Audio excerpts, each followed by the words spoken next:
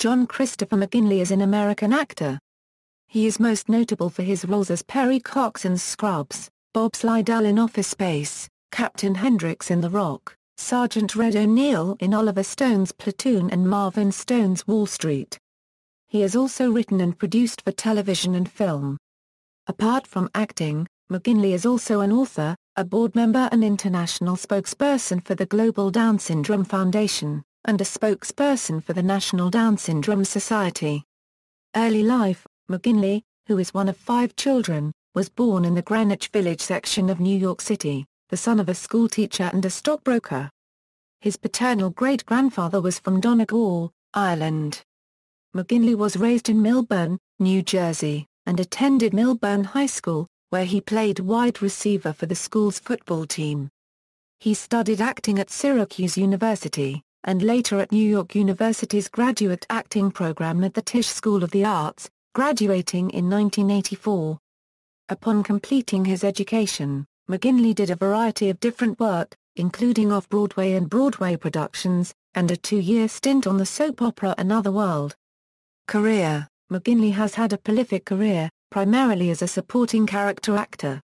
He was noticed by a casting scout while working as John Turturro's understudy in John Patrick Shanley's 1984 production of Danny and the Deep Blue Sea, which led to a successful audition for the role of Sergeant Red O'Neill in the Oscar-winning Platoon. McGinley had been cast in his first film role in Alan Alda's Sweet Liberty earlier in 1986. That was followed the next year with Wall Street, and again the next with Talk Radio. He also was featured in a 1980s Subaru commercial. He appeared in the Celebrity Challenge version of American Gladiators, losing to Dean Cain.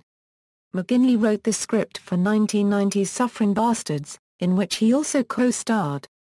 He worked continually throughout the 1990s, appearing in films such as Point Break, Highlander 2, The Quickening, Article 99, Wagons East.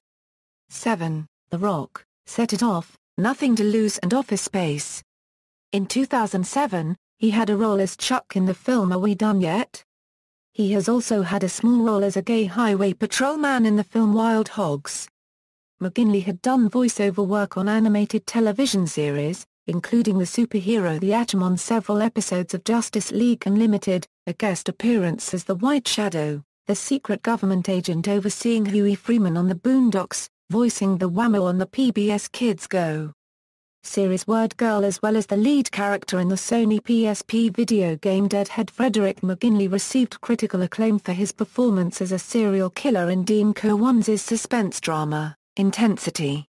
It became Fox Television's highest-rated miniseries. He worked with Koontz and Fox once more in Sole Survivor. In 2001, McGinley began work as a regular on the NBC television series Scrubs as the acerbic Dr. Perry Cox.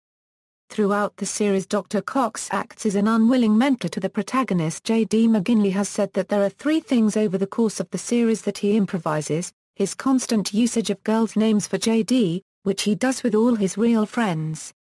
His whistle, which he describes as a bad habit. And his habit of touching his nose, a tribute to Robert Redford's character in The Sting.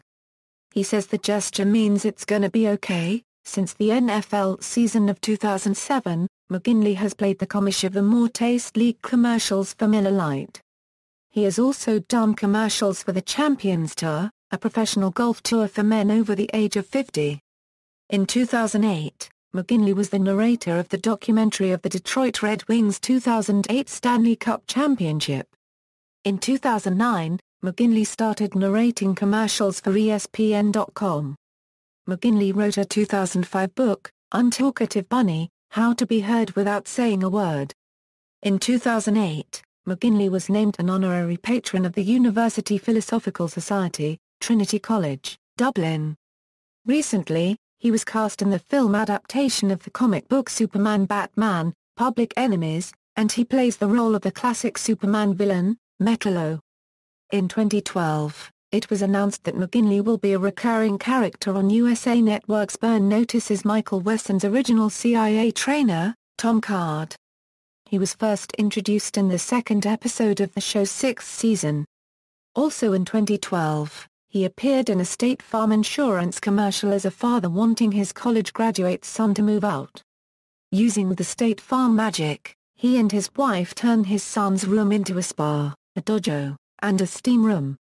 He began 2013 in the Broadway revival of Glengarry Glen Ross as Dave Moss, alongside Al Pacino, Bobby Cannavale, Richard Schiff, David Harbour, and Jeremy Shamos.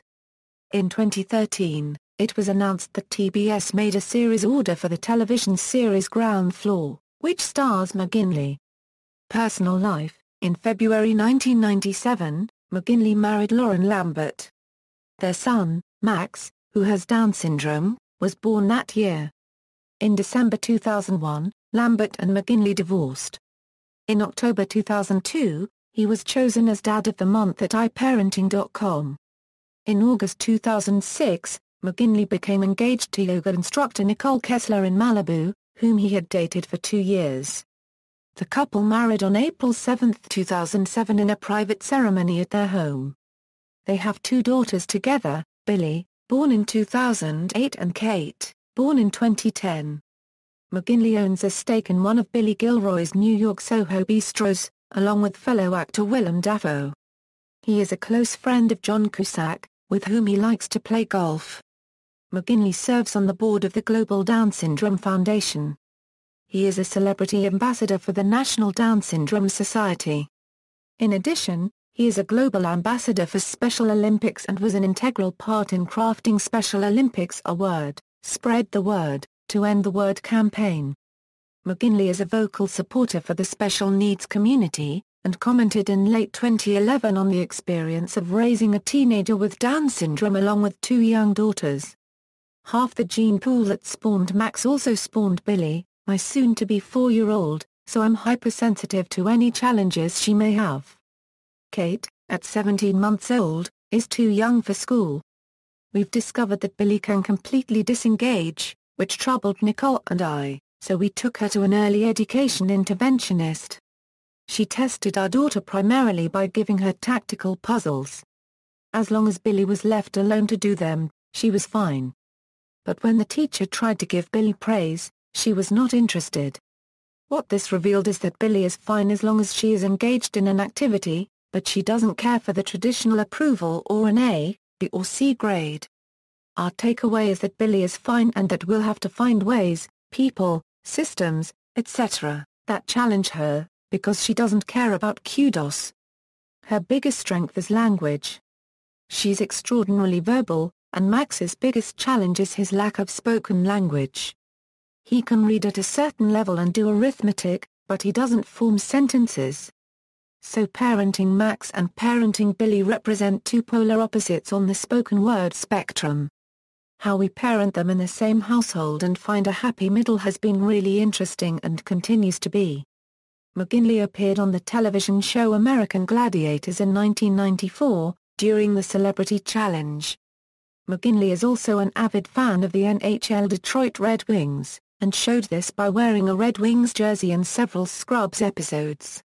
He was the narrator of the Red Wings 2008 championship DVD. McGinley maintains a home in Malibu, California, and is well known as a member of the Malibu Mob, a group of celebrity friends and neighbors including John Cusack, Tony Danza, former Detroit Red Wings defenseman Chris Chelios, big wave surfer Laird Hamilton, beach volleyball pro Gabrielle Reece, and tennis player John McEnroe. Filmography, television work, awards and nominations, references. External links, John C. McGinley at the Internet Movie Database, John C. McGinley at the Internet Broadway Database, John C. McGinley at All Movie.